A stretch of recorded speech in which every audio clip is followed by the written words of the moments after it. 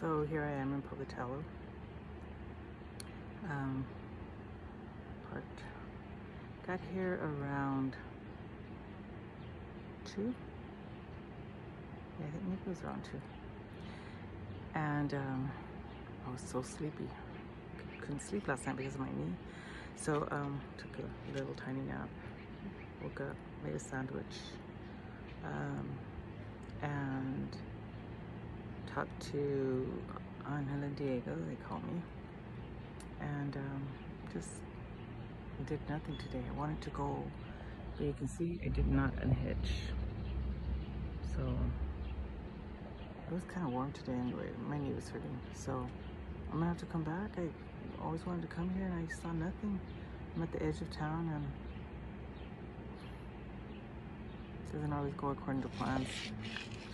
Um, so, anyways, I'm here. This is a park. It's a, it's a park. It's just, uh, everybody's parked next to each other. it's cool, so I'm enjoying it. And, um, it's shady.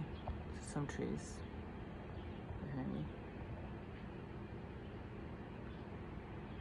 People in the office are all nice. So the manager, the assistant manager in there, I think it's the manager. She's from California. She went to uh, Monte Vista High School, graduated from there. So she's real nice. Um, yeah. So I'm not hungry now, so I think I'm just going to eat some oranges or something. And then tomorrow's a long day, it's five hours. And I feel real bad because I didn't do anything here. I stopped, took a nap, and took some more medicine for my knee. Uh, but anyway, I mean, I relaxed and that's a good thing. Like I say, I tell my boys that I'm not um, young anymore, so I have to take it slow. And I like this slow, and I like that I don't have to rush, and I like that I'm not tired. I'm well, I was sleepy today, but I'm able to take a nap and turned on my air conditioner because it was kind of warm. So, yeah. Anyway, I guess that's all I'm gonna say today. Um,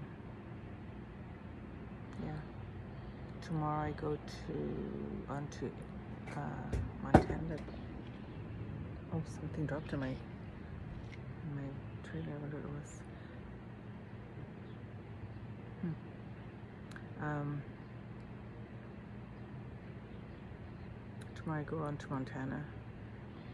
Five hours, and then I'll be no two hours away from Diego. So almost there